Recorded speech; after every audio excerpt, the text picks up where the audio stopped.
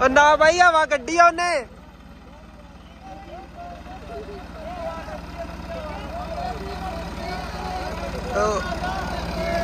ਚੱਲ ਦੁਬਾਰਾ ਲਾ ਲੈ, ਦੋ ਰਾਉਂਡ ਹੋਰ ਲਾ ਲਾ।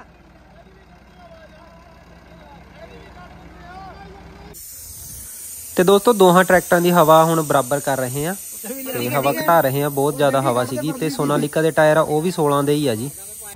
ਲੋ ਬਈ ਹਵਾ ਕਰਤੀ ਆ ਬਰਾਬਰ ਦੋਹਾਂ 'ਚ।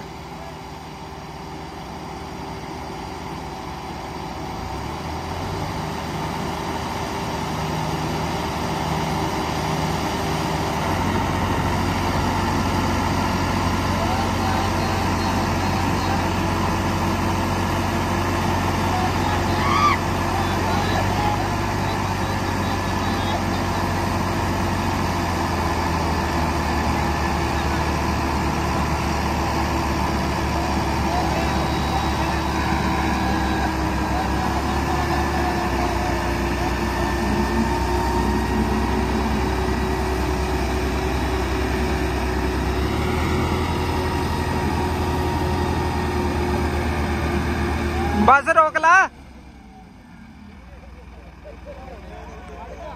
ਇੱਕ ਵਾਰ ਧੜਿਆ ਆ ਲੋ ਜੀ ਫਾਈਨਲ ਰਾਉਂਡ ਆ। ਤੇ ਹੁਣ ਡਾਇਰੈਕਸ਼ਨ ਚੇਂਜ ਕੀਤੀ ਆ ਜੀ।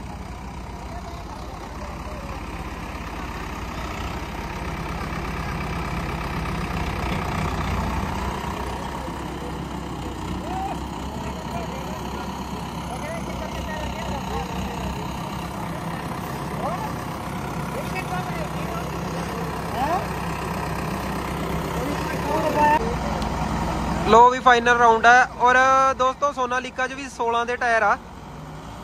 ਤੇ ਹੁੱਕ ਬਰਾਬਰ ਕੀਤੀ ਹੋਈ ਆ।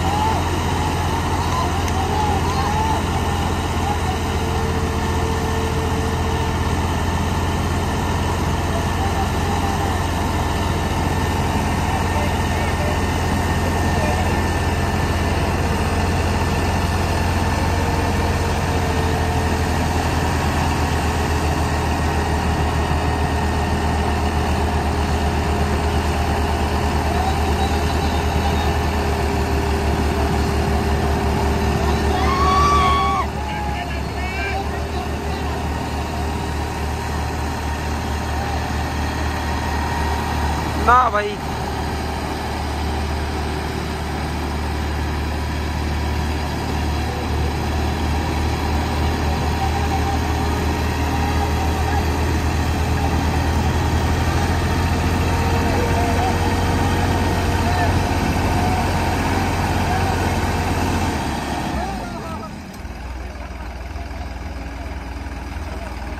ਧੂਏ ਨਿਕਲ ਗਏ ਟਾਇਰਾਂ ਚੋਂ ਯਾਰ